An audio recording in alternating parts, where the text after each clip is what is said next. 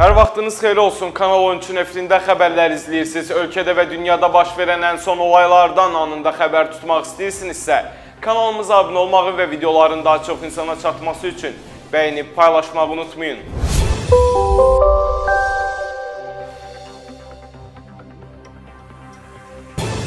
Bu gün Daxili İşlər Nazirliyinin əməkdaşları kənd təsərrüfatı sahəsində ayrılan dövlət pullarını mənimsəməkdə şübhəli bilinən vəzifəli şəxslərə qarşı geniş miqyaslı əməliyyat keçirib. Saxlanılanlar dövlət tərəfindən ayrılan subsidiyaları mənimsəməkdə ittiham edilirlər. Əməliyyat Daxili İşlər Nazirliyinin baş mütəşəkkil cinayətkarlıqla mübarizə idarəsi tərəfindən yerinə yetirilib. Çoxlu sayda saxlanılanlar var. Araşdırma nəticəsində məlum olub ki, ondan artıq rayonunda gübrə təchizatçısı olan şirkətlər fermerlərlə əlbir olaraq subsidiyaları mənimsəyiblər. Bu əkin sahəsinin olduğundan artıq göstərilməsi elektron kənd təsərrüfatı informasiya sisteminin yalan məlumatların daxil edilməsi hesabına olub. Subsidiyaların yalnız 25%-ni nağdlaşdırmaq mümkün olduğu üçün bəzi fermerlər bank kartlarını müəyyən məbləğ qarşılığında təchizatçı şirkətlərə satıblar. Onlar isə kartlardakı vəsaitləri öz hesablarına köçürərək əslində fermerlərə gübrə satmayıblar. Məsələ ilə bağlı Kənd Təsərrüfatı Nazirliyi keçirilən əməliyyatda münasibət bildirib.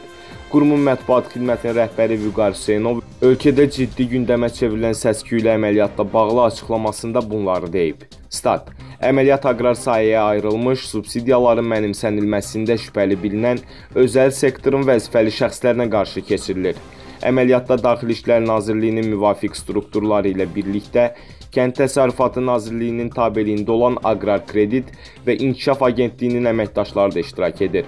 Əməliyyat Kənd Təsərrüfatı Nazirliyinin müraciəti və təşəbbüsü əsasında keçirilir. Statın sonu. Qeyd edək ki, bu Azərbaycanda vəzifəli şəxslərin nöqsanlara yol verməsi barədə keçirilən ilk əməliyyat deyil. Ayrı-ayrı vaxtlarda Dövlət Təhlükəsizlik Xidməti və Baş Prokurorluqda, müxtəlif rayonlarda dövlət qurumlarında və nazirliklərdə rüşvətxorluq, korrupsiya və digər cinayətləri törədən şəxslərə qarşı bir sıra əməliyyat tədbirləri həyata keçirərək həmin şəxslərin məsuliyyətə cəlb olunmasında fəal iştirak ediblər. Nazir Oqtay Şirəliyevin villası və malikanəsi üzə çıxarılıb. Bu barədə tanınmış jurnalist Həbib Müntəzir yazır. Stat: Yadınızdadırsa, mart ayında koronavirus testləri ilə əlaqədar Səhiyyə Nazirliyinə 38 milyon manat vəsait ayrılmışdı. Dövlət büdcəsindən isə 2020-ci il üçün 2 milyard manatdan çox vəsait ayrılıb. Özü olmayan Səhiyyə Naziriniz Oqtay Şirəliyev o vəsaitləri villalarına xərcləyib. Statın sonu. Jurnalist daha sonra nazirin Şüvəlanda 500 kvadrat metrlik villasının və Qubanın Qələduz kəndində milyonluq malikanəsi olduğunu da qeyd edib. Müdafiə Nazirinin müavini Fuad Məmmədov vəzifəsindən azad edilib. Bu barədə dövlət başçısı İlham Əliyev sərəncam imzalayıb. Sənədə görə general-leytenant Fuad Məmmədov Müdafiə Nazirinin maddi texniki təminat üzrə müavini maddi texniki təminat baş dairəsinin rəisi vəzifəsindən kənarlaşdırılıb. Vəzifənin müvəqqəti icrası general-leytenant Nizam Osmanova tapşırılıb.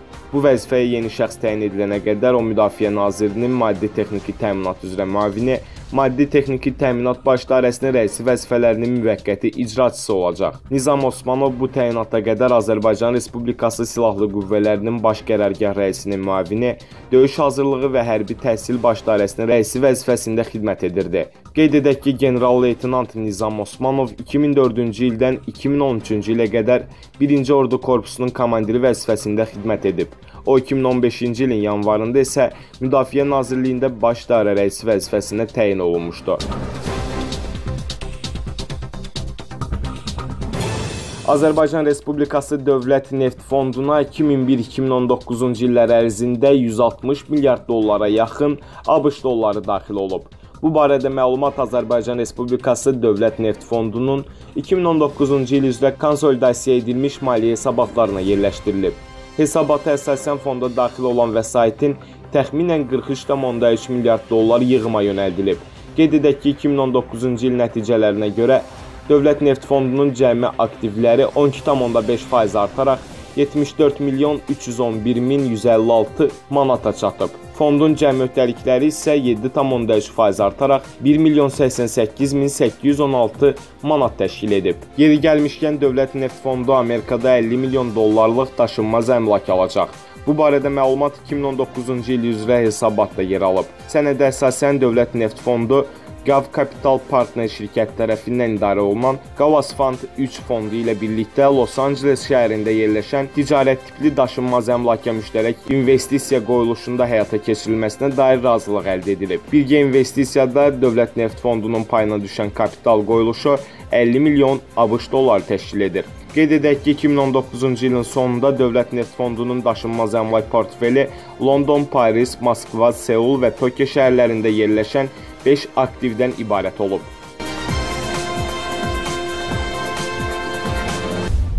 Sağ olun, daim yenilənən kanalımızı izləməyi unutmayın.